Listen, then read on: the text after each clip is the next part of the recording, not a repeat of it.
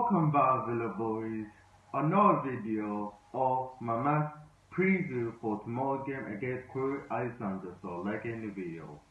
What is tomorrow we the Crewe and their stadium. They're like a League 2 team as well. They lost last game 1 year as well. Let me know to forget the last time they played in Carabao Cup. So supposedly they beat Middlesbrough on penalties. For us for last time we didn't play Carabao Cup. This is our first first match in Carabao Cup.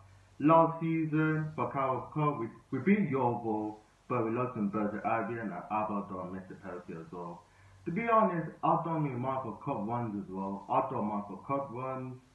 And done me watch Crewe as well and League 2 football as well. It was EFL League 2 football. So they were in my starting 11 for tomorrow game. To be honest, there'll be a lot of changes, a lot, a lot of changes. So in goal, I'll go with Jed Steer. In the white back, I'll go with Aaron. In the centre back, I'll go with Kortney Hause and Isa Hamza because the centre back needs to start and make a change.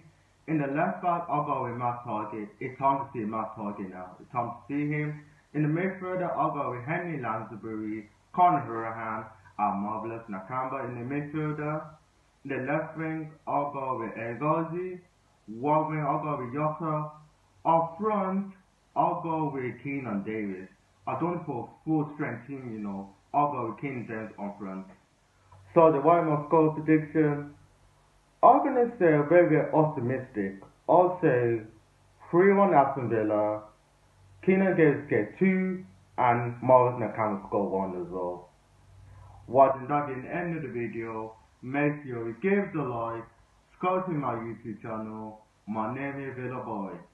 I see you next time for my match review for tomorrow game of the Villa.